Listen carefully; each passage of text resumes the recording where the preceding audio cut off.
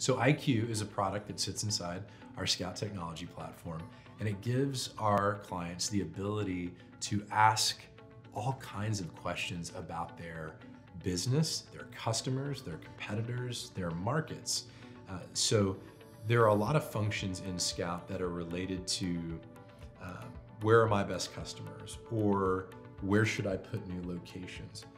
Fantastic insights into forecasting performance or forecasting ROI on marketing campaigns, et cetera. Uh, but there are a lot of other questions related to your business that our clients have historically had over the years. Questions that uh, didn't necessarily relate to the technology that was available in Scout. Well, now it does because of IQ. So we have data on our clients. They're feeding that data so when they look in Scout, they can see where their locations are, where their customers are coming from, what the sales are, lease renewals, all these different kind of questions.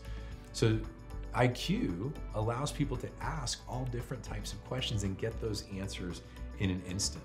Again, about different brands that they're competing with in the market, about their customers, about their locations.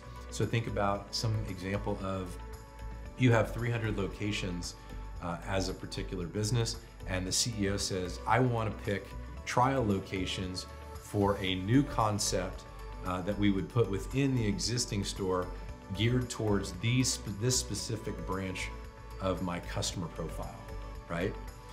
Well, within that might take weeks if you were trying to do that on your own.